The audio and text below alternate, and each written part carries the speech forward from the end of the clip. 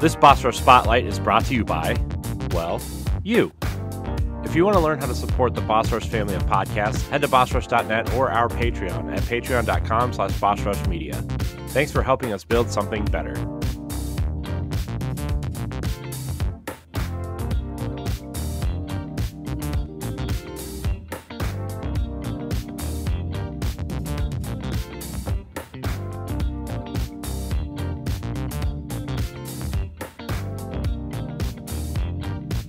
Hello, everybody. Welcome back to a Boss Rush Podcast Spotlight. I am your host, Corey Deering, and alongside me for this one, none other than the Mad Pharmacist herself, Stephanie Klimov. Hey, happy to be here on one of my favorite kind of what do you we call this like a branch off of the Boss Rush podcast. Yes, Boss Rush Plus, if you will. Plus, I'm excited to talk to some really awesome people. I know, I know. I'm really, I'm really excited. Also, also joining us is uh, The hype man I tonight. I can't, I can't even do this. uh, Mr. Nintendo, Mr. Mr. Way Forward, uh, that retro code Eddie V. I get to fort the way with one of the best companies of my Here we go. gaming library. Hello, everybody. I'm just, I'm super hyped. I'm so excited to be talking to these two. And yeah, welcome, everybody. Welcome. Yeah. So, um, so if you if you couldn't tell by the thumbnail or the uh, title of the episode, or I don't know if you just left YouTube on and this video started playing when you woke up, welcome. Uh, we are here uh, with a developer spotlight with uh, Way Forward. Uh, you may know them from River City Girls, Shantae. Uh, they made a pretty awesome uh, Blood Rain uh, game that was that I really enjoy. Mighty Switch Force, uh, among a hundred other things that you may or may not have. You know, you've probably played a Way Forward game in the last twenty years, even if you didn't Mhm. know it. Uh, I want to first off, I want to welcome back Adam Tierney, who was on the Boss Rush podcast uh, before, uh, and then joining him is James Montagna. Hello, hello, guys. Welcome to the show. Welcome, Yeah, welcome back, Adam. uh yeah so we we started in adam this this actually this idea spawned off the the podcast that you were on with us we were like well what if we just did a spin-off podcast where we where we spotlight uh different developers and, and creators and stuff and we really felt you know just with how great you guys were with with uh, us on that show and just how uh, great way forward has been directly and ind- indirectly with communities ours included. It's just we thought we had we had to get you in this first run of of spotlight episodes and uh yeah this this is this is incredible uh that you guys are here.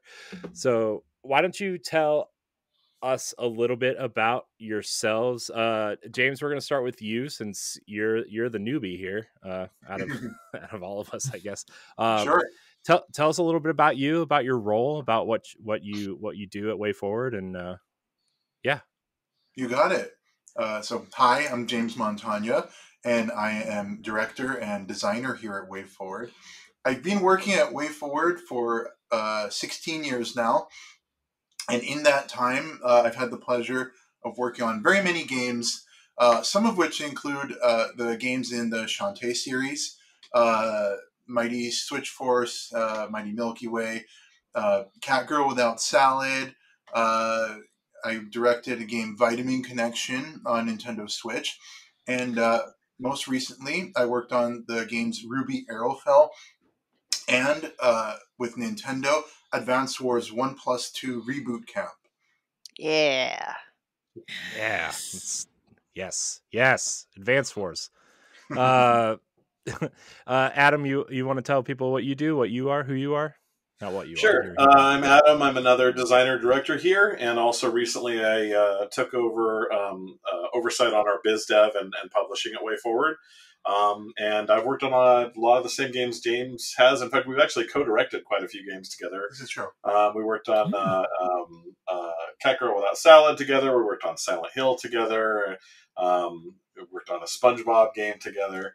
Um, but yeah, I've uh, most recently I directed uh, the River City Girls game, the first one. Um, I wrote the scripts for both of them, and then I've also done some titles like our Batman game, our Flash game, our Silent Hill game, um, Till Morning's Light, an original game, Lit, an original game. Lots of the the horror and kind of story stuff came from me.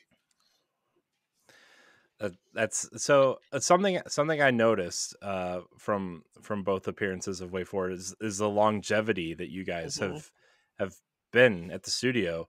You know, I, I hear a lot of things within, you know, just by hearing other interviews and stuff that people will work on a game for you know two to five years depending on the size of the game put it on the resume and then they'll go somewhere else or and and i'm not i'm not talking about like you know uh, uh, contract work or outsourcing. I'm i'm you know people at major studios you know i was uh listening to a podcast where uh rod fergusson was on uh talking about his stint with epic and then going to irrational to work on bioshock and back to the coalition to work on gears and something like he he likes to ship games so that's why his resume is so in and out.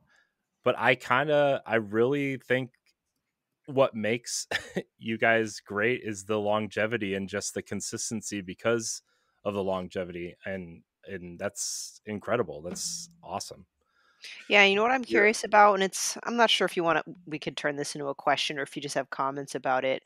I would be curious to know your personal perspectives on sticking with one company and and having that relationship for the longest time, observing how the industry changed because this is still kind of like new compared to a lot of other industries s- and a lot has happened in the last 16 or so years. Yeah, I've been uh, James has been here for 16 years. I've been here in 19 years, almost 20. Um, so we're real lifers, and uh, you know, we also there's a lot of kind of lateral movement at WayForward. So I came in as an animator, and then I did assistant directing. What was your first gig here? Uh, my first gig here, I was doing uh, pixel animation. Yeah, yeah. So we both Oh, came in as art- artists and then eventually became directors. Um, but I mean, for me, you know, you definitely, I've definitely thought over the years because you're right. Like if you look at most of the, the industry, people tend to jump around every couple of years. That's much more the norm. And you know, I think the reason we don't is for me two things. One, um, because we're an independent studio, we're not owned by anybody other than Voldi Way, our founder that means we can work on anything. So we can work on any brand, we can work with any publisher. If there's any like cool anime or TV series or, or anything that we want to make a game based on, we can go and pursue that because we're not, you know, locked into like, you know, any particular group of, of licenses. So that's another one big thing. And then the other thing is just our founder, owner Voldi Way, is just such a delight to work with. And he's, you know, really a cheerleader of everybody who works for him. He really, you know, feeds off of like understanding what his staff wants and trying to, you know, help realize like the kind of games and sign the kind of stuff that people here want to work on. And so it's really, you know, you know, the, the brand thing is, is somewhat important, but I think for me, it's just, it's hard to picture working for anybody other than Voldi, really. Yeah, I would second that. We uh, we have great management here. We have great, really talented teams here, and one of the things that keeps me here is the opportunity to keep creating cool stuff with just really wonderful people. And of course, you know, we get to work on the projects we want to do, amazing projects. And there's so few companies that uh, have the opportunities that we have here. Uh, Way Forward always feels like one of the industry's best kept secrets. And we could do both original and licensed stuff, which is really cool too. So, I mean, James and I, like with Catgirl and and Vitamin Connection, there's a number of like games that we created original characters, and then we'll also do stuff like uh, like River City Girls, where we get to put our spin on stuff. And I think that sort of blend is so satisfying to work uh, at for a developer. Um, you know, being able to not just create original stuff, but also work on all your dream brands and everything in between. So it's just it just seems like the perfect place and and then yeah, just the you know the the atmosphere here, the the bosses, everybody we work with are just really phenomenal. Like James said, it's like one of the best kept secrets in the industry. So I think that's just why we haven't really felt the need to go anywhere else. That's Yeah. Oh, go ahead, Ed. Oh no, yeah, because like you guys did uh Bloodstained, Ritual of the Night with um, Itagaki. Um, I believe that's it. Um, and it was just like for a game that started as a Kickstarter, they brought you guys in to help develop it. And you know, even you doing Alien Infestation on the DS for Sega, like I'm amazed on how many companies reach out to you guys and you take a take upon these projects. Even though, like you guys say, that you're the local low key secret, I think a lot of people are recognizing you for the games that you have made and going back and playing the stuff that you played. Um, like, how do you feel about some of those projects like that? Um, when people come, when companies come and reach out to you to be like, uh, "Can you help us develop this game?" Yeah, I mean it's it's a huge honor, and it and it's kind of goes both ways. So something like Aliens, that was one where we had done Contra Four on Nintendo DS and then Sega and Gearbox were wanting to do uh, Colonial Marines, and they wanted a handheld version. So they said, "Oh, Contra is very similar. That was really good. Let's get those guys." And so that's great when when work that we do and that we're proud of leads to other stuff. Um, but then sometimes it's the flip side. So for something like River City Girls, that was us just wanting to put our spin on the River City Ransom games, and then reaching out to Arc System Works and saying, "Hey, here's our vision. Can we do this?" And really, it's all over the place nowadays. Sometimes the opportunities come to us. Sometimes we create them. Sometimes uh, it'll just be two companies like us and another company saying, "Hey, let's work on something cool. What should we work on?" And then thinking about it. So it really comes from just all different directions. That's true. It takes many different forms. Yeah. Yeah, because you guys working on two Technos games, uh, River City Girls and Double Dragon. Like yep. that's that's cool. Sorry for nerding out, here, everybody. yeah, especially it was really cool that that when we did the River City games, Arc let us play with that whole universe. So if you play through the game, you know you see the Lee brothers and Marion and Abobo and and you know all these characters in there from Double Dragon, and also the lesser known stuff like Combat Tribes, like pretty obscure ones. Yeah, yeah, it was really oh, Combat Tribes, uh, Super Nintendo yeah, arcade. I remember that. Anything from those old Technos games. Yeah. So not to not to get too sidetracked here, but you know that you, you did that you did a Double Dragon game. You should uh make a sequel and talk to Microsoft and get the Battletoads in there, and then we can finally have a circle reunion. You know? Yeah, we're big fans of Battletoads. I mean, it's a very hard game, the original, but uh, um, mm. yeah, we, almost anything. We're constantly looking at retro stuff, so almost any brand you could think of, we've probably thought about doing at some point, or maybe we have you know some pitch or mock up or we wish we could do it um, or prototype. Yeah in fact that's usually like a lot of the questions are like hey can you tell us what would be your dream game? And a lot of times we can't really fully answer because it's like well we're talking about those right now with companies. Can, yeah. can, can y'all do keith courage in, in alpha zone from TurboGrafx? I need a sequel or remake. I would i would love that it, it is a deep cut, and I've been asking for it. And then why you guys just said that, I'm like, ooh, if WayForward could do Keith Courage in Alpha Zone and do a sequel, I I probably my son probably would leave this world. But for, first, it would buy the game and and beat it, and then it would leave this world. oh man, Ed, only you could come up with like the obscure. This this is why you're here. You can come up with the obscure games that maybe only like I don't know I maybe maybe you know maybe WayForward would do something like that. Uh, if you want to be a Patreon producer, head on over to Patreon, patreon.com slash Media, and find out which tier is right for you. Our Patreon producers at the $5 tier or higher for this month are Adriel Munger, Austin Campbell, Celeste Roberts, Christian S., Sana Dierig, Francisco Santillan, and Rebecca Jewell. Thank you for your continued support. So when so okay, you you've been at WayForward for for as long as you guys have it. Is it has it was this? I guess I want to know how your career started. Was it at WayForward or was it kind of where did you get your start? Like how like you both came in as animators. How, where did you guys get your start at? So incidentally, WayForward is the first company I've worked at professionally, and I've just been here ever since. I was hired at WayForward out of college. Before oh, then, wow. I was just hmm. creating. Uh, I guess you could call it just indie games or solo experiments and uploading them onto the internet uh, for free for people to download. Um, I was like, uh, I think I was 20 years old, and uh, I had an opportunity to show some prototypes I made to WayForward company president Voldi Way because my class at college did a tour of the studio. And from there, Ooh, uh, nice. I had an opportunity to do an internship, and uh, it uh, the rest is history, I guess. So that's how I got started. The WayForward is actually the the first company for me. How about Wow. nice. That's awesome. pretty pretty close to it. So I mean, yeah, I I, I think uh, I graduated and then I ended up at Way Forward about four years later. So I didn't do that much, and uh, you know, I was a teacher, substitute teacher for a little bit. I worked at Target for a little bit. I worked at a radio show for a little bit. So I tried a bunch of different stuff, um, but I, I got into freelance uh, animation for video games. And then Matt Bozon, our creative director, and I were already friends online. And he noticed me talking about some gig that I got doing animation. And he said, "Oh, you do pixel animation, and you're in Los Angeles. You could you should come visit us." And so I did, and ended up doing some work for them.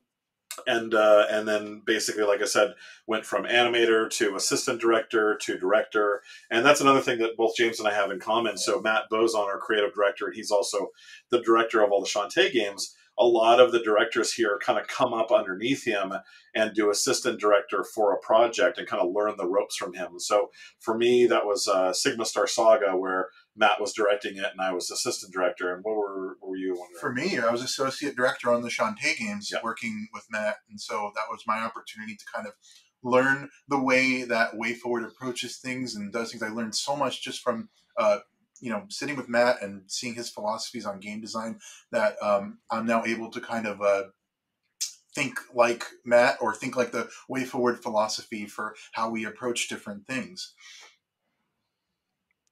That's uh, Hmm. that man. That's so that's so great that like you have that structure of hey let me let me take you under my wing let me show you the ropes and then kind of you know uh, maybe like the next project or two like they get they give it to you to work on like that's so that's so cool to have a a leader like that that just allows you to do that and has the faith in you to do that and you know that's that's something man you guys just get way cooler every time i talk to you guys. uh what was what was what was the first the first games you guys worked on Go ahead.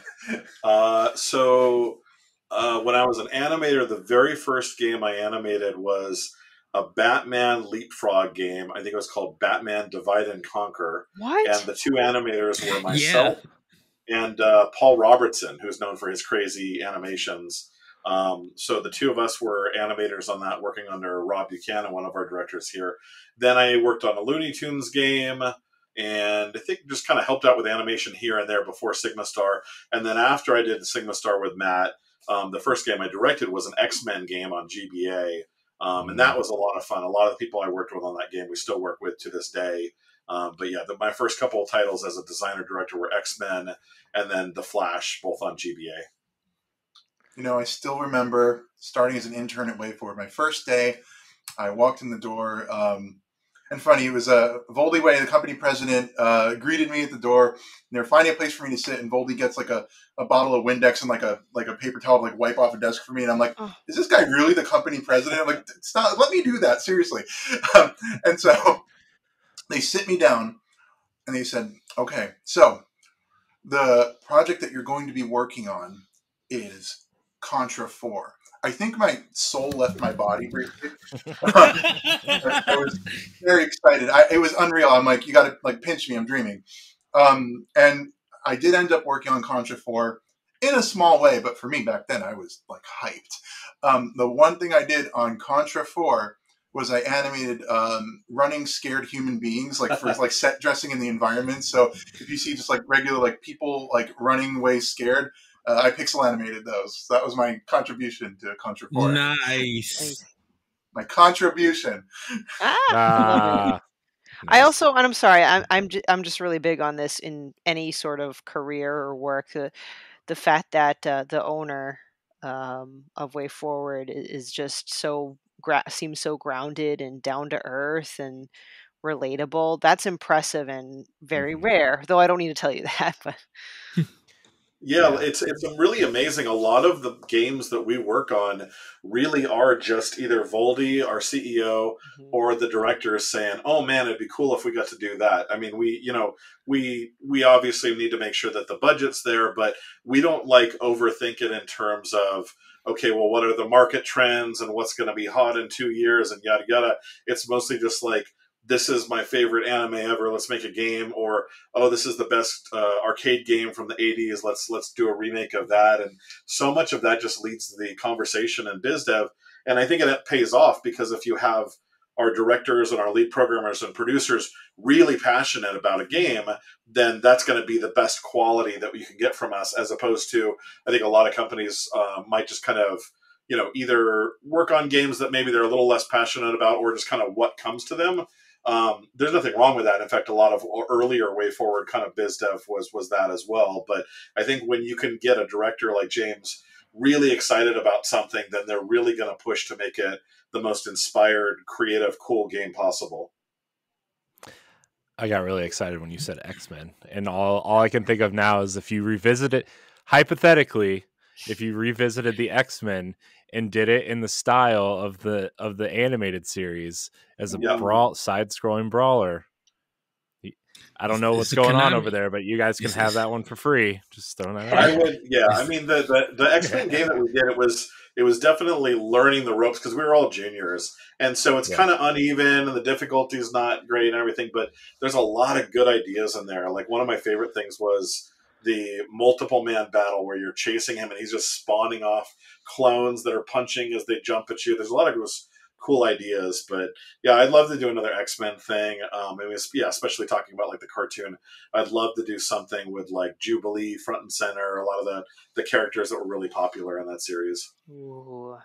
Ooh, which which Oh, was one of which was one of my I don't know if Corey put this as one of the questions, but I was just I was thinking because you guys have worked with Nintendo, have you ever thought working with Microsoft and Sony to take one of their IPs and make a game, whether it's like an arcade style or something that's like it don't have to be very graphical, but it's your take. Like you guys working on Infamous you know, and doing it as a mm. two player beat 'em up game. Like, how would have you guys ever thought about that or anything? Oh, or, Oh, yeah. you know, No, we've got really good contacts at Microsoft and Sony, so we're always talking about possibilities. Yeah, I don't know if we've done anything that's as core to their IP as something like Advance Wars was to mm. Nintendo, but we've definitely talked about the possibility, and you know, I we love their brands. Like, I mean, my my favorite, some of my favorite games of all time are the the Ico, Shadow of the Colossus, Last Guardian series, which is them. And uh, you know that sort of stuff, I I love that stuff, and also you know like like big Konami stuff like Metal Gear Solid. Like there's a lot of stuff that I think we'd love to get our hands on one day. I think we need to resuscitate uh, Ed. there's a I lot. know we need to revive Ed. He's he he, he just- said you, you I said know what he one said. of my I know he said one of my favorite games and uh yeah. I, I would actually this came to my mind. I would love to see y'all take Forza Horizon and treat it like Oh, the no. arcade version of Outrun oh, by man. Sega. that would be cool. that would actually be pretty neat. Be I'm an old school Outrun fan, so I, I like the sound of that. uh going back to to the the animation side of things i know sometimes a lot sometimes people say that uh pixel pixel art is uh or pixel animation is more expensive than like the th- kind of like the 2.5d animation um I, I don't i don't really know how to phrase this question but like how do you guys feel about the 2.5d versus the pixel animation because I think a lot of people kind of prefer the pixel animation. And I know sometimes when games come out, like I know Mega Man 11 got this when it was 2.5D, and I know when Shantae initially changed animation styles, like some people were kind of upset about that, but like who cares? I think Shantae looks amazing in both graphical styles, and I'm not just saying that because you guys are here Hmm. but like you know i mean what is your preference what do you like to deal with is it a game by game basis or you know is it something that you just think would fit the the product better? Like, what where do you guys go? So I have some thoughts about this. I I think uh, 2.5D like hand drawn animation style and pixel art animation style they're all valid. They're all wonderful. They're all great. Um, my love for them is equal. It's a it is a game by game basis. It's like what do we want to present to the player as an experience for this particular opportunity? Do we want something that has this vintage kind of retro feel? You're going to get that with pixel art. Um, I also tend to think that pixel art games just have a different play feel to them. There's something that they just mm-hmm. feel different when you pick up the controller and manipulate the character around, right? So um, we're at the point, uh, technology wise, that we can make a conscious choice for games like for River City Girls, it was a very intentional choice to go for uh, pixel art. There might be other reasons for that uh, production wise, but strictly from a creative design perspective, um, it's really about what is the feeling we want the player to feel, and it all boils down to the sensations when you play. In my opinion, I think they're all valid. I love them all, and it's just per game. Yeah, we do a little bit of everything. And in fact, I think uh, you know, oftentimes we'll know the game we want to make and we'll be talking to the publisher and we'll say like well what do you prefer do you want pixel art or do you want high res 2d or do you want 3d or do you want some blend of it um, i think what might be surprising to a lot of people is if you look at every game WayForward's done in the last like 10 or 20 years probably at this point close to half of them are either 3d or have some 3d component. So we do a lot of 3d mm-hmm. games. We do a lot of 2d games. We do a lot of pixel games.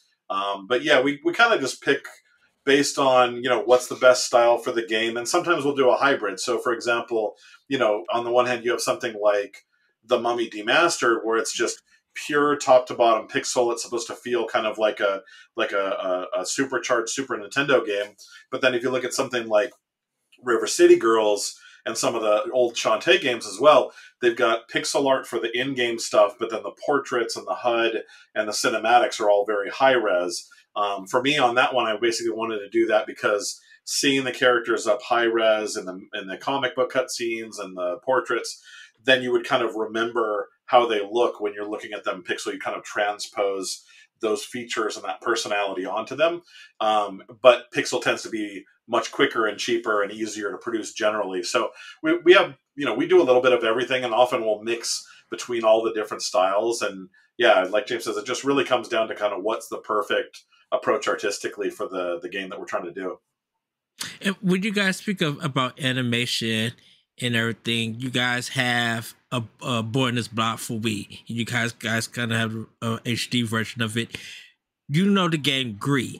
Um, that came out from Nomada studio, and they coming yeah. out with Neva.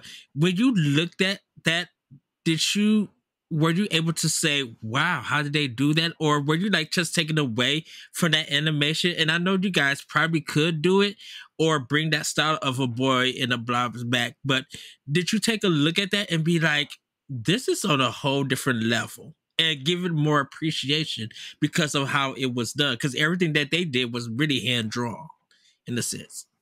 Yeah, and it's interesting. Um, Boy and his Blob, I think, was the last game we did where we actually part of it was done uh, pencil on paper. And so somewhere around here in the offices, we've got stacks of the original keyframes of the Boy and Blob drawn in pencil. Um, sure, about halfway through that game, we started switching over to entirely digital. But no, we constantly get inspired by other games going on. Um, you know, we'll look at something like Cuphead, where it's just absolutely gorgeous frame to frame. Mm-hmm. That definitely inspires, inspires us for that kind of stuff. Or we'll look at you know some really gorgeous uh, indie pixel animation, and that'll make us think in terms of new styles we can do and stuff like that. We're constantly you know getting wowed and getting inspired by by um, our peer titles. Have you so it's keeping on a boy and his blob. I know that it was originally well NES, but originally on Wii. Uh, is it hard to take a game like that from you know the Wii, which was you know standard definition at the time, and and upresing it, or do you guys kind of animate it in HD, hoping that it'll get a HD release someday and scale it down? Is that is that something that you were considering when you made that game?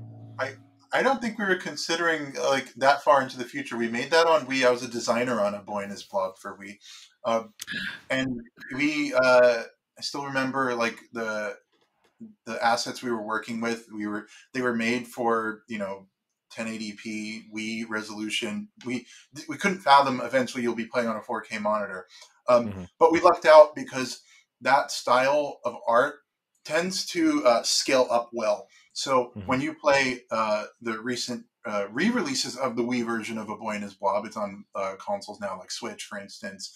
Um, it holds up pretty well and it looks pretty good. Um, I think we got lucky there because that art style just tends to scale nicely.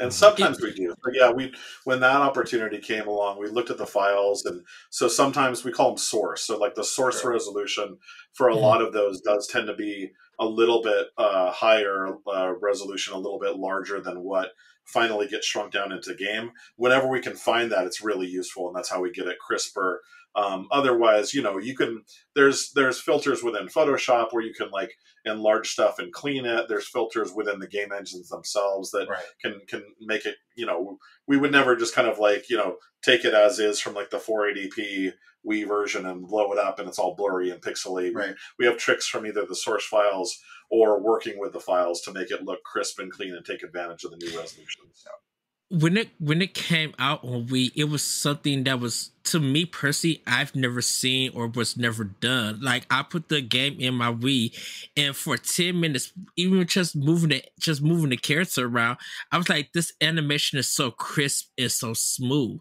I'm like, I don't think we, I would, I couldn't believe on how good it was, and uh-huh. I, I wish that game would have sold more because I used to work at Toys R Us. So when your game came in, I snatched it before anybody could get a copy because I knew because I knew it was going to be a game that if it sold out, there's going to come a time that people will want your game. And I'm just like, I want the first edition of this game. So seeing the Boy and His Blob on Wii and knowing that it was on the NES and everything, um, just and definitely you guys having a hug button and stuff. It, it was something um it was literally was something amazing and it really just stood out as one of the to me one of the best games on the week because it it was something that it was this speaks WayForward. No one can do what they're doing in this space. And if they try, I don't think they're gonna get the love and appreciation that WayForward uh do deserve. Because it, it was just something that was breathtaking to me. Oh, thank you for saying that. You know, when that's uh, that's the sort of way that we can only hope to move people when we create games like A Boy and His Blob. So um, to hear that from you actually means a lot, even though it's been so many years since we worked on that game.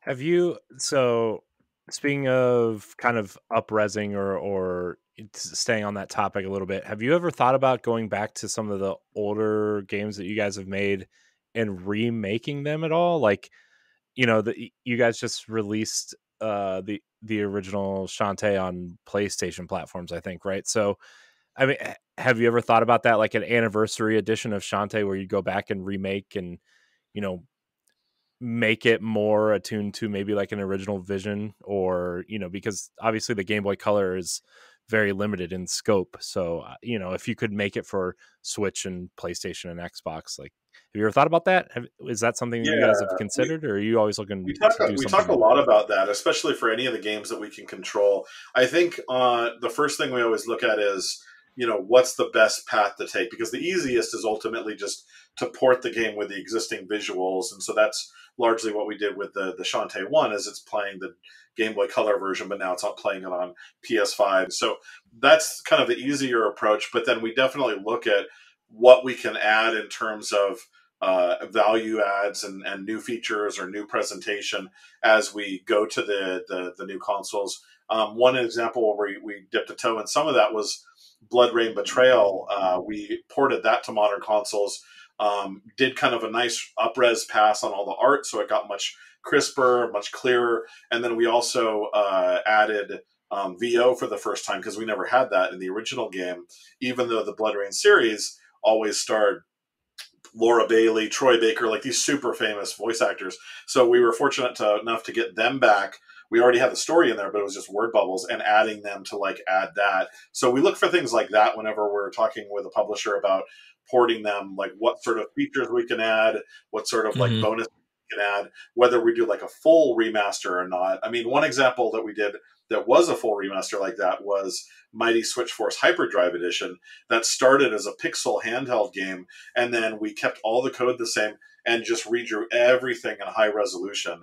And it came out really cool. I mean, just it, it plays great, but it looks exactly like a you know big 2D HD Disney style animation console game. Um, it's definitely something that that we've considered for more titles, but it's also very expensive and time consuming. So it's always kind of a balance about you know, do people want a really bigger deep dive on uh, improving an old game, or do they just want a brand new game, or do they want just the old game and keep it in the integrity of how it was? And we're always kind of balancing all those options. Yeah, that's always the tricky part, right? Is how far do you go without making the, you know, what's seemingly loud minority just angry? Um, although I think WayForward is pretty genuinely loved across the internet. It seems. Mm-hmm. Uh, I don't know. Maybe we just follow all the negative people and just see it all the time. But uh, you know, I I I just have been thinking a lot about Shantae recently. Not only because you guys just released it on PlayStation, but also because I've been playing it a little bit on Xbox, and uh, that first game is so charming. But I always, I'm the type of person that it, Laurent Laurent always calls me a tinkerer, and if I know something can, you know, if we can make something more out of what this is, then we're gonna try to do it because that's just the type of person. And and I was thinking a lot about that original shot. Man, that'd be so cool if they updated it to like half genie hero or or seven sirens or any like that graphical style with that animation and that fluid movement and yeah, we've definitely talked about the possibility. Yeah, that'd be cool. I will be there day would, one when it comes out someday. Maybe. I would like to know how do you guys add so much comedy to this game and not right. just laugh your tail off because your games are funny with some of the writing. Like even with River City Ransom, like I mean River City Girls, like the comedy is there in the cutscenes, and Shantae even has some funny moments. And it's just like, how did you guys capture that uh that comedy in the writing? Process. That's that's this guy right here for well, uh, River City Girls, and uh, but you do you do quite a bit too. Like actually, James, James, and I have co-written quite a few games as well. Um, yeah, you know, doing new dialogue or improvements on the dialogue. But yeah, it's just I think what we've found recently is that funny games are very easy to make resonate with fans. Um, you know, and they're fun to make. They're fun to make, yeah. And also, I think we're getting more and more into doing voiceover uh, working with some of the best actors in the industry, working with Cristina Vee, who's our casting director on all our games. And you know, it's it's to, short answer is no. We, we laugh hysterically. Like I mean, James and I have been in the booth when we're recording with Cristina and the actors, and and they give us a read, and we're just cracking up because of the delivery of it. So yeah, we we we we love the part the process of it, and you know, we love getting that kind of like humor in the games. I think it's something that's becoming more and more common in in WayForward games recently, especially. Yeah, yeah, that's something. That's something I as so I play. I don't. I don't like the super serious games. I don't like the the spooky games. I'm always. I'm always into the the good humorous things, and it, it's it's hard. It's hard. I feel like in video games to get that timing too because it's so interactive and kinetic in, in a lot of ways. And, you know, obviously you guys have the, Actually, know, here guys... I'll, I'll, tell you, Corey. I'll tell you. So, two little tidbits that you might like since you mentioned timing.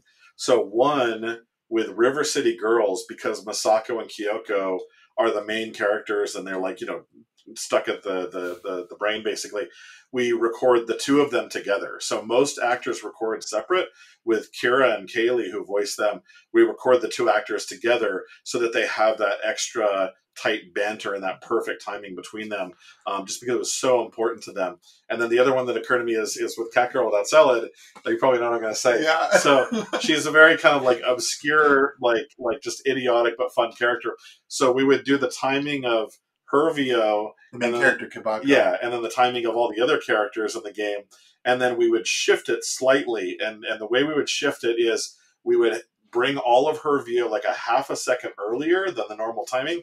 And what it ended up doing is one, it makes it seem like she's just cutting them off, like she just is immediately talking without Interrupts thinking. everybody. she interrupts everybody, but then it also adds an extra delay where people are just like kind of stunned with what she said and reacting to her, and so little things like that. Yeah, we're really big on on the timing and the flow of of the humor, and then also as we're recording, which are the takes and and which are the mm-hmm. you know exact reads. All of that is super super critical to getting the right humor. I, I love it. I know. I know. I don't. I don't really understand when, you know, especially with the types of games that you do, why they have the characters voice the lines separately. Why aren't you together? And I guess it's. I guess it's. You know, it's sound stuff. Obviously, I'm not a audio person, but like you know, somebody hits a, a hits a table or something, or you know, it, it's just a cleaner sound in general. But like, I just. I was like, man, you can totally just mess something up by not getting it. You know, Yeah, I the think joke I doesn't think hit. that's always the preference, and so I know that like on major TV series comedies like Simpsons and I think Family Guy and I think Teen Titans Go. I think on a lot of these that really rely on timing, they have the entire cast in the studio, so they really are all ripping, riffing off each other. It's difficult to Mm. do that logistically just because of schedules and because also you're Right. paying the actors for when they're in the studio. So if you have all of them overlapping, suddenly your your VO budget is you know five times, ten times as Mm. much. Um, so logistically, we're not able to do that most of the time. But with, like I said, the main two uh, actors in River City Girls, that was important enough for the timing that we're like, okay, we always have to record Misako and Kyoko together because otherwise we're just not going to get that cadence where they're going to feel like best friends. And sometimes they are shady. Again, Yeah. and when they are shady and they just disrespect everybody or just don't care, the game gets literally funny because they would do it so quickly, and I'd be cracking up. I'm just like, they do not care about this enemy at all, so they would literally be shady, and it's so good. I think that's something that James and I both like doing is Yes. like games where when you really think about it, the hero is kind of the villain and they're just like a jerk to everybody, but they're so charming that you they get away with it. I mean, that's River City Yeah. Girls, the cracker without Yeah. salad. It's a it's Yeah. something we kind of enjoy. Yeah. That's so good. That's so good. I'm that Mighty Milky so Way. Mighty Milky Way's one, yes. I that's incredible. I I like hearing stories like that. I I like I I really like River City Girls by the way. I'm a big fan. I so I have to admit I haven't played the second one yet, but I do love the first game a lot. Uh Awesome. Thank you. I'll get I'll get to the second game. I will. Promise. Uh Come, come So- play with me online, Corey. I want to play know. with you. I know, I know. I'm getting there. There's there's a lot. There's a lot going on.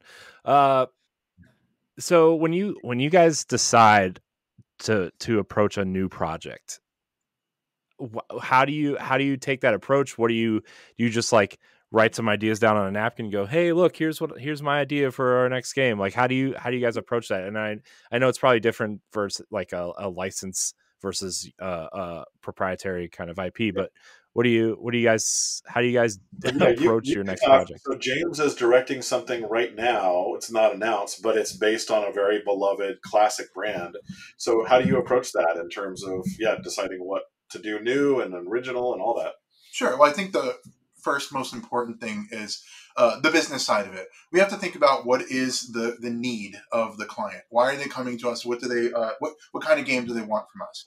And that sort of plants the seed from which everything else can sprout, right? So it's like, okay, this is the sort of game that we want to make. This is the this is the intellectual property. So we'll do a deep dive and research that property, and I'll become an expert on it. I'll learn everything there is to know about it. I'll play every game in the series if I need to. Um, but you know, so many of these we we just they're in our DNA. We just grew up with them. We know them so well. So it's rare that we have to do that. I'll do it for just to keep it fresh in my mind. But from there, we start thinking about okay, um, what what is the audience we'd like to reach, and uh, okay, think about what what's uh, resonating with with this audience, and how can we delight and surprise uh, players? What can we do that'll be unexpected? That's uh, fresh, cutting edge, fun, and uh, and something that uh, we would just really love to make. These are the factors that, when at the outset of a new project, that we have to start thinking about. And personally speaking, um, I'm always uh, focused on something about uh, how the game feels. So, uh, quite literally, I'm, I'm a huge fan of uh, features like the uh, the DualSense haptics or like Nintendo Switch HD Rumble. Um, but I don't mean always literally. Um, just the sensation moment to moment when you're playing the game. So if it's an action platformer, what's going to make this action platformer feel special when a player picks up the controller, manipulates the character around? What is going to be the moment that's like, oh, that feels so good to play when I when I hold the controller in my hands?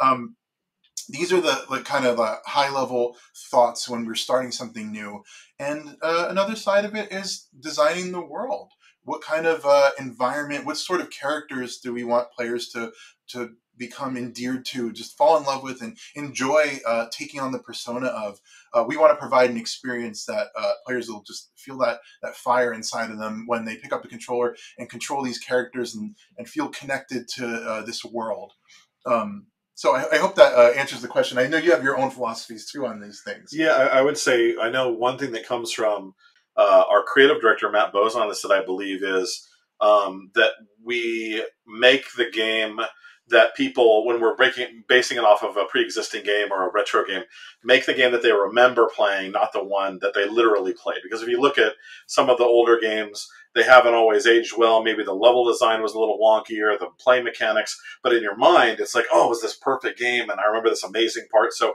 a lot of it is like, you know, trying to realize that kind of nostalgia and, and you know those rose tinted glasses version of a game and and that'll often kind of temper when we remake something or when we revisit a brand how much we carry over versus how much we start from scratch or we rethink. Oh my goodness, that that speaks to me because there are many game games in the um, N64 and Game Boy days that I just had such fond memories for, and then like when I reboot it and I play it, I'm like, my smile like just wants to fracture. I'm like, I still love it, right? I still love it, right? But this camera angle's killing me. So it's almost like you guys are trying to mm-hmm. ensure like the the same similar warm and fuzzy experience, but maybe adapt the game to more modernized controls or just yeah the the the what do you oh my gosh I need coffee what's it life improvement or yeah yeah quality, quality of life, quality of yeah, life. yeah and, and like Duck, DuckTales was a perfect example of that. It was like looking at the levels, looking at where like I think for example like the minecart sequence was really short in the NES one, and we made it like you know have more jumps and crazy spins and stuff because it's like, well, if we're going to do a minecart, you want to make something that feels more like a roller coaster. And then the cool mm-hmm. thing with that game, of course, was being able to combine the NES Capcom games with the DuckTales cartoon and working with the voice actors. Like I believe I think we were the last DuckTales product that got the original actors for Scrooge and Magica, some of these actors that were in their 90s when they recorded with us. It was off, awesome to get them back and, and do one more version of DuckTales and have it be our game. That's, that's so good. Man, DuckTales, when I was when I was younger, DuckTales was my jam. And then when you guys remade where when you guys remade that game, it was like I was it was awesome. I, I think that's maybe one of my favorite WayForward games, to be and honest. Yeah, my my question to you, my question to you guys is, what happened to Rescue Rangers NES games? Like, where's yeah, the remake to that? oh, because after playing. We would love to, yeah, we, we would love to do that. We'd love to do DuckTales 2. Um, there's so many good games based on that stretch of Capcom Disney titles. We we would love to remake yeah. all of them. Hopefully someday. Just don't do Yo! Noid. you can leave that Domino's game somewhere. Just don't do that. All right. Get get John Drake on the phone. He's he's running Disney now, right? The Disney game stuff. So uh, yeah, he's handed. Look, he handed Indiana Jones out to, to Xbox. He can. We've got some really good Disney contacts. We're we're always talking about stuff.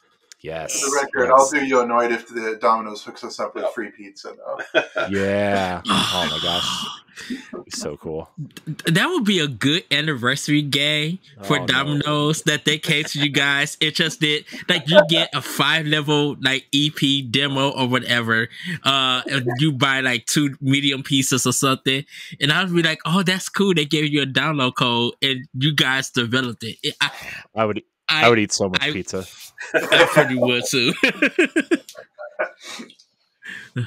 um, let's see. We're so we are we're appro- we're approaching the top of the hour, as they would say in radio, I guess. Uh, so when you guys are tackling a project and you guys hit like a like how do you guys work around I guess the speed bump in development or you know say somebody maybe somebody during development leaves and that person was very important how do you how do you guys like adjust your adjust your development? Because that's you know sometimes people leave that are super important to the project or you know some more than others but uh i mean obviously you guys are still here but it, it it's i bet it's tough when your team changes like that when there's somebody that's super important that goes sure. on to do something else yeah you know things happen during the course of development you know they, uh, people people leave there's emergency they you know they, they get another job somewhere you know it, these things happen right um, but i think the important thing to remember is that um, communication solves so many issues, right? So um, when road bumps happen, whatever they may be, um, we tend to uh, regroup, discuss as a team. Okay, like who can uh, take on or fulfill this role or this position, or maybe it's a role we didn't know we needed at the outset of development. It's like, oh, we need a, a like a storyboard artist. It's like, oh, okay, we should find someone for that. You know, um, it's it's really about communication. That's how we problem solve it. We we get the team together, all the different department heads as necessary. We talk it out. We find what need is, and we discuss a game plan how to solve it. And I mean, that's really all you can do. You know, things happen during development, but we we got to stay on our toes and do the best we can. And speaking yeah. of team members, James, how old were you? So two of our most valuable programmers, uh, Maddie and Matthew. How old were you when you first met them? Um, I was 13 years old. So, uh, yeah, uh, Matthew Greenfield, uh, the um, programmer that we've worked with on so many games, including uh, he single-handedly programmed the game Cat, Cat Girl Without Salad Amuse Bouche, and uh, he was a programmer on many games. We worked on Advanced Wars, uh, One Plus Two Reboot Camp. Um, we worked together. gosh, I, I, I, couldn't even start to list them, but um, we've known each other since I was 13 years old, and I think he was like nine or ten years old, and um, we've been making games together ever since then. Uh, we were uh, collaborating on like projects before I worked at WayForward together remotely, just over the internet. We'd never met each other in person for years and years, and then um, one day uh, before Cat Girl Without Salad came out, I was like, "Hey, you know, we should uh, we should work together on this game, uh, and we should like get you here at the studio." We we flew him out. I got to meet him for the first time, even though I'd known him for well over a decade at that point. and um, yeah, he's he's one of our rock star programmers to, to this day. So it's kind of incredible. And and then uh, Maddie Lim, she was a childhood friend, met around the same time. Uh, I, I, was 13 years old. We were all on this like same like web forum, and um, she's uh, done some audio programming for us. But uh, she's one of our most talented uh, musicians. Um, the music for Advanced Wars One Plus Two Reboot Camp, uh, music on Vitamin Connection. Um, was even involved in uh, Shantae and the Seven Sirens. These people uh, are so near and dear and valuable to us, and it's like uh, we have a, we have great teams, and so it's almost like family. I know it's a very cliche thing to say, but it, it's so true. That's yeah, that's that's so cool when you can like that's man that makes that makes the story of WayForward even cooler when you know like you guys known each other like growing up and then you now all work together doing the thing that you love that's so that's so awesome. Um, so I have I have a couple questions that I kind of want to ask. So is there are there any uh actually I think this one was from Ed. Is there is there a genre of game that you guys haven't worked on that you would like to work on? I'll let you go first. Uh yeah, I mean we we try and do a little bit of everything. I think um, one genre that we're interested in that I don't think we've worked in yet is we call it arena brawler. So if you think of Power Stone or Cannon mm. Spike, like Ooh. little 3D, you know, small arena, beat the crap out of each other, like types of games, that's a genre I think that would be really cool for us to work in, and we've definitely looked for opportunities for that. How about you? Personally, I'm really uh, enthusiastic, dare I say, obsessed with the genre of rhythm games. Uh, I love any uh-huh. sort of music game. Uh, I grew up playing games like Parappa the Rapper, um, Bust Groove. Um, I love Dance Dance Revolution to this day, Beatmania. Um, and one of my favorite uh, okay. Nintendo games is uh, Rhythm Heaven. I was about to would say, what about- I, was- I was about to say, what about Elite Beat Agents? Oh, I love Tatakae, Owen Don, and of course Elite Beat Agents. Those are some absolute favorites of mine. Uh, people at iNiS are incredible for those games. I uh, I played the heck out of uh, Ouendan one, two, and EBA. Yes. we uh are so our Nintendo podcast, Nintendo Power Block, we lovingly call the followers of that show elite block agents because Nice. because of, because of Ed. So Perfect. uh, um so I know you I know you just did uh, Advance Wars, but I would personally like to see a WayForward IP tactics game. That that I personally as somebody who really likes tactics games. Yeah, I- I, I would- that would be really nice. I mean, I, I love. I was huge into the Metal Gear portable ops games. We were really big into Final Fantasy Tactics. I Oh, love the yeah. GBA version. Um, you know, like obviously Advance Wars is kind of in the same realm of that. So yeah, I, I I think that would work really well, especially because when you have those kind of games. Um, they often rely on like having very tight but rigid kind of like basic gameplay mechanics and then just tons of Mhm. personality on top of it. And, and I think that's one area where WayForward does a good job is having something where the has good gameplay fundamentals, but then a nice kind of like flow and polish on top of it. So I would love to see us do something more straight up tactics like Final Fantasy Tactics. That'd be really fun. Yeah, I I uh, I grew up playing uh, Final Fantasy Tactics. There's a PlayStation game called Kartia uh, with Yoshitaka Amano art. It was an incredible game. Not that one's not super well known, but I an incredible uh, tactics game. And of course, you know, working on Advanced Wars, it uh, kind of uh, re-engaged my appetite for that genre of game and got my head really in the design nuts and bolts of how to build that style of game. So, uh, personally, Corey, I'd be really excited to do that too.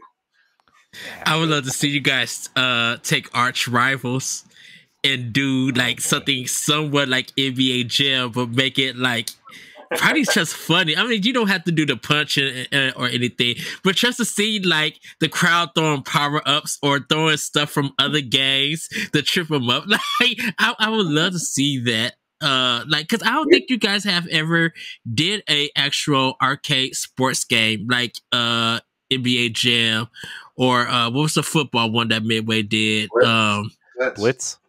Blitz. Yeah. Yeah. Um I haven't seen you guys do anything of that. So I no, think that we would be haven't done many something funny. sports games. I mean, we definitely like after River City Girls, we've talked about it because half the Kunio Kun games are sports. You know, dodgeball, Dodgeball. Mm. soccer, and hockey, and all that. So I mean, that would be cool. I, and then also just talking about strategy, um, we did have one earlier one that's worth checking out if you have a 3DS. We did a Transformers game Rise of the Dark um, Spark. Rise of the Dark Spark, and that's a really interesting WayForward one. So it's got like a top-down strategy pixel-based kind of like a, uh, game, but then when you get pulled into the battle, it's all Mhm. polygonal. And I remember it came out right after uh, Pacific Rim, so we were very influenced by like the, cinematography in uh, in that movie, and it, it's a cool blend of everything at WayForward. So you get this really nice overworld pixel strategy mode, and then when you get together, you're kind of basically, you know, rock'em sock'eming with polygonal 3D robots with like meter fills and stuff, and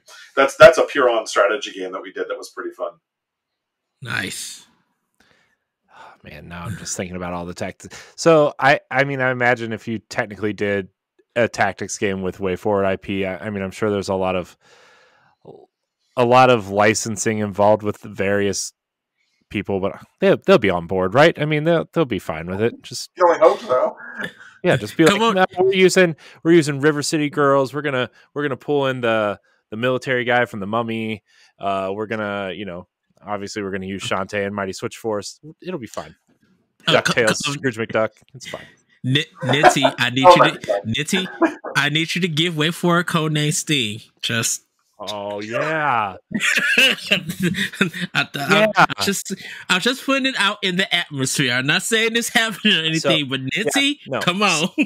Okay, James, so James, and I, James and I were at the world reveal premiere. The reveal of Codename Yeah. Steam. We were in the audience when they revealed that to the world for the first time. at I E3. still remember that Yeah. at E3. Yeah, we sat through. Uh, we sat in, I should say, a almost two hour presentation about Codename Steam with the uh, with I guess the team behind the game. Yeah, and that was the same one where they announced Pac-Man for Smash Brothers, right? That was, Or was that a uh, different the year one? before Oh, the okay. roundtable discussion where they revealed. Yeah. We were in that as well. Same theater. Yeah. They were Pac-Man uh, reveal in Smash Brothers, and I think you can hear like my voice go "Yeah" in the soundbite, like with the Pac-Man reveal. Uh, You know, we, we had the opportunity to ask Masahiro Sakurai uh, some questions during that, and it was pretty interesting. Um, but Adam almost mortified uh, the, the both of us. Well, he No, almost that was a mortified me. I, I, I, I, I joked. I told him I was going to ask about Shrek, but that was a joke. Um, but Oh, James, wow. actually, you won. What was it? You won a gold medal for Smash Brothers at E3 or something? Yeah, I won the E3 tournament for Super Smash Brothers uh, for Wii U. Yeah. and uh, I That's got awesome. the I got the gold medal. That's So- awesome. Oh man, that's so. You guys are so cool. Would it- Uh, oh, because you said Smash for Wii U, I only could play that game with the 3DS. I You're the cannot play worst, with the Ed. gamepad. no, no, you're the worst. Said every. It- it- for some reason, for some reason, the 3DS felt so good uh, playing it on the Wii U version. Uh, To who? To who? isn't it- Pretty Zero, awful, Zero, I'll give you that. Zero Uh. Suit is my main. That's my girl. Who, who's your main? Z- uh, Zero Suit Samus. Zero Suit Samus, excellent choice. Uh, I'm I'm a Kirby guy myself. Kirby, nice. I'm a Ki- I'm a King DDD guy myself, only because Oh, I think it's so excellent, excellent. I think it's so ridiculous that a giant penguin wields a hammer, and it's just funny when you s- smack people off the stage with it. Formidable opponent. Yeah, Now I I'm gotta not very. Good. Oh, sorry. Go ahead, finish. Steph. No, you finish. Uh, I was just gonna say I'm not very good at Smash at all, but I like to play King DDD just to disrupt the. You know, sometimes you get the, the people in there that are so serious that they know how everybody's going to play because everybody Yeah. has the same strategy, and then you just throw a wrench in there like a terrible King DDD player. You're the wild they don't. card. They don't. Yeah, they don't know what to do, Yeah. that's that's your advantage. So I think I, I like Solid Snake for the same reason. When you start, you know, firing mortars and like you know flying away, he has some really weird oddball attacks that make him unpredictable. Mm. For me, I've been kind of boring. I've been sticking with Pikachu since um, Super Smash Bros. Like uh, Super Smash Brothers sixty four. It's just Oh, Pikachu's a great Nice. fighter. Mhm. That that uh, up special is uh, a force to be reckoned with. yes. yeah, yeah. Smash Brothers, what a game.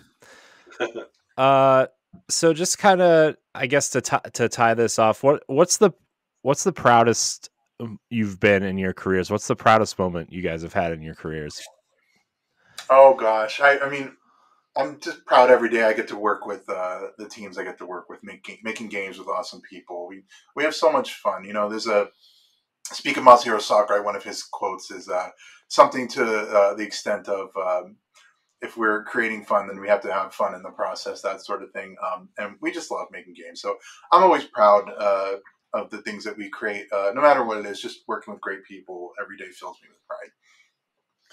Um, yeah, and I I think especially now that I'm getting more into the biz dev side, I love getting opportunities that get our directors like James excited. So like, you know, finding out what is their favorite anime of all time, what is their favorite NES game of all time, or their favorite childhood toy of all time, and then reaching out and talking to everybody about, you know, who has the rights, who's willing to fund it, who wants to publish it, and you know, a lot of our games that we're working on right now that'll come out in 2024, 2025 and beyond are really based on kind of like dream brands that that we never, you know, 10 years ago thought we would ever have access to. So that's one of my most exciting things is, you know, going after those dream brands and and getting everybody whether it's in US, Europe, Japan, everywhere that has a stake in it to say yes, we believe in WayForward's vision and and you guys can can play in our sandbox.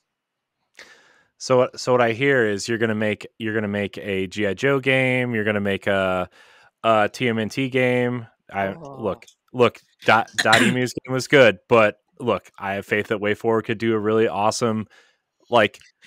I, I almost envision it in the style of like the like the sh- the Shantae games where it's like the you know the the thick black outlines, very colorful, very just or you know you could very well do like the, a comic book style like the old school comics like the original run comics a very dark. Whatever. Uh, you're gonna make a you're gonna make a Mighty books. Morphin Power Rangers game. You're gonna make. Oh. Uh, No, I'm just. it's time for favorite stuff, guys. it's time for Wait for it to touch Donkey Kong Country. It's time for Oh. y'all to. I'm just saying. you know, there's just so many uh, intellectual properties we'd love to uh, to play with and get our hands on and design things around. The, the, the list is practically endless. The, the things that we've talked about wanting to do, the things we've pursued doing, the the um, you know the documents we put together with proposals, uh, or just the things that we think about. The things that are signed right now, And the things that we're working And the things we're working on right now are included. Jace, I, I, I kind of got two questions for you, but one of them, can you make Jim the the ga- the uh, cartoon Jem? Jem Can and the you hologram. On. Yeah. Yes, Could Yeah. that be your music genre game from WayForward? It? I would please, yeah, that would be amazing. Oh, please, by all means. Yeah, our our, our friend uh, uh, Lindsay, who was the lead artist on Vitacon and, and Catgirl, is a huge Jem fan. And for her birthday one year, a number of years back, I tracked down the original voice actor for uh, uh, Pizzazz and got her to like do an in character, like you know, kind of like nasty put down birthday Birthday message. message. Yeah, we're, huge Jem fan. Uh, well, uh, my my final question for you, uh, before we let you go, uh, you all work hard to make players smile, and I wonder, regardless of reviews, do you all smile along with us when you see gamers post your work? Of course, yes. It's a it's a great honor to uh, see our games really well received, and uh, you know it, it. And it comes down to the reason that we are in this business, and the reason we do this. I create video games, and so many people on our team create video games, and Adam, we create video games. We're entertainers. We want to delight people. We want to uh, bring people together. You know, it's uh, game designers maybe like at the surface level, not the most noble like job in the world next to you know doctors like save lives. Um, but just the same, we want to enrich people's lives. We want to just delight and make people smile. And uh, when we know we've done a job well done and people are smiling because of something we created, of course, yes, we smile too. Yeah, we definitely pay attention. Um, I mean, especially with the games that tend to get played for longer periods of time, like the River City games and the Shantae games. Um, we're constantly hopping into the Twitch streams, looking at the YouTube streams. So, you know, watching people play our games and also pulling information from that, like what do people really like, what do they dislike, uh, which of our games resonate. All of that feeds back into you know helping us make better and better games in the future. Okay. Stephanie, you Yeah, got anything you want to? Oh, sorry, Ed. Oh no, I, I was just saying. I think that's why I I'm a big supporter of your games because I I just feel like you guys make games for anybody, everybody, and they're just so fun to play. You know, there's something about it that just makes you feel like, yeah, it is a video game, but it's something that makes you feel good that you own it and that you're playing it. Thank you. Stephanie, you have any uh, final questions or final words for them before we uh, let them go? Um, not questions, but you know, thank you for you know, well, I mean, to everybody here having me on. I know uh, Corey extended the invitation, and it's nice to see you again. Nice to get get to know more about WayForward. I I really appreciate um, your company's philosophy. Um, it's really honorable. I know that might sound pretty cheesy, but I have a lot of respect um, for companies and for those that work for companies like that. So it's just kind of, you know, other than Lunark, which I'm I'm looking forward to playing. You know, you guys are kind of up there on my radar, and I want to be able to spread the word uh, even more so about you guys. So thank, Thank you. you. Thank you so much. Yeah, and, and thank you for mentioning Lunark. So Lunark was a game that it was developed externally, but we just loved it, and we said we have to publish this game. We knew the developer Johan Vinet. So definitely, if anybody's interested in seeing a really cool retro cinematic platformer by WayForward, look up Lunark. It just came out. It's L U N A R K. It's a different style for our kind of games, but um, we're really trying to get it out there and get as many people aware of that as possible. I bought it twice. Thank you. All right, Well, you just I- have to one up everybody, Corey. God. No, I don't. I, no. So okay. So no. Here's the thing. Here's here's here's my last thing. I se- I second everything Stephanie said. I'm also my primary platform mostly for games is Xbox. And so I originally bought Lunark on Switch, right? Because why not? Indie games are great on Switch. I want to play in bed, whatever. But I know a lot of especially smaller developers and publishers a lot of the time sometimes skip Xbox or they're waiting for that Game Pass deal or they're you know it seems to seems to be that's what where that side of the industry is going and I just wanted to show my support for the game on Xbox to say that we want these games on Xbox because it's not it's not all about Halo and Call of Duty and Gears and mm-hmm. you know stuff like that. I I love playing indies on on Xbox and like I said that's where I'm playing Shantae right now. Uh I've discovered a lot of I have discovered a lot of indies through Game Pass but like my thing is if I I think these games should be here and you know, Adam, when we had you on the last time, uh, just repeating what Stephanie said, I really appreciate you guys being a, a, a great studio, uh, having the philosophy you have. And, you know, again, for some reason, it's very hard for people to just be nice people.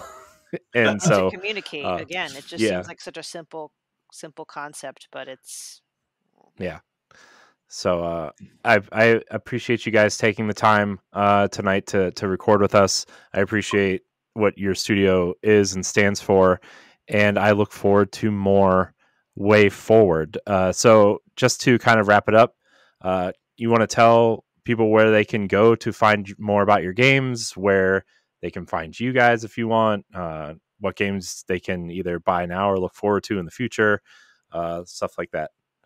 Yeah, I think if you just go to wayforward.com, W A Y F O R W A R D.com, um, that has links to most of our currently available games.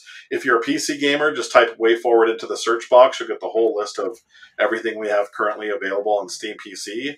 And uh, yeah, it's, it's quite a bit. We've you know we've been developing for over 30 years, long before either of us got here.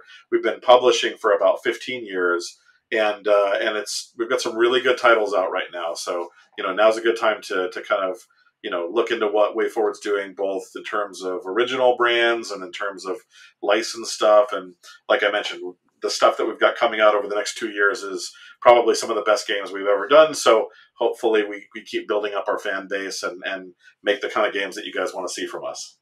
And you can follow us on Twitter at WayForward. Yep. And um, you can follow me personally on Twitter at James Popstar. And I'd be delighted to hear from you if you've enjoyed our games. That's James P O P S T A R. Say hello to me. Awesome. Well, uh, thank you again for for joining us tonight. This was this was awesome. Uh, I'm I'm glad you could join us on this first run of, of developer spotlights. Uh, you guys are going to be one of the one of the first ones out, so I'm very I'm very excited that you guys are kind of kicking this off for us. Oh, uh, it's been a real, it's been a real pleasure.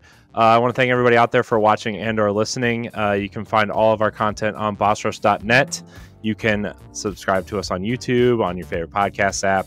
Uh, if you want this show a week early, you can go to patreon.com slash bossrushmedia. Uh, this episode is going to be free for everybody uh, to listen to, obviously. Uh, so check it out. I want to thank everybody for watching and or listening. And until next time, we love you. Goodbye. Bye. Bye, everybody. Bye. The Boss Rush podcast is a product of Boss Rush Media LLC and is recorded from our headquarters in Akron, Ohio. This show is produced, written, and directed by me, Corey Dierig. My co hosts are Stephanie Klimov, LaRon Dawkins, and Edward Varnell. You can find Stephanie at Klimov underscore author on Twitter and Instagram, as well as on the EXP cast. You can find LaRon at Exodus803 on Twitter, Instagram, Twitch, and YouTube, and also on Crossroads, the video game podcast. You can find Edward at That Retro Code on Twitter and Instagram, as well as hosting Nintendo Power Block. You can follow me on Twitter and Instagram at I am Corey in HD, and find me hosting Tower Casuals, the Destiny podcast, and co-hosting Nintendo Power Block. Find the Boss Rush podcast on all social media platforms at Boss Rush Podcast. You can also follow Boss Rush Media and Boss Rush Network on all major social media platforms. Join the Boss Rush Network Discord and Facebook groups to interact with other friends and fans. Thanks for listening, and we'll see you next time.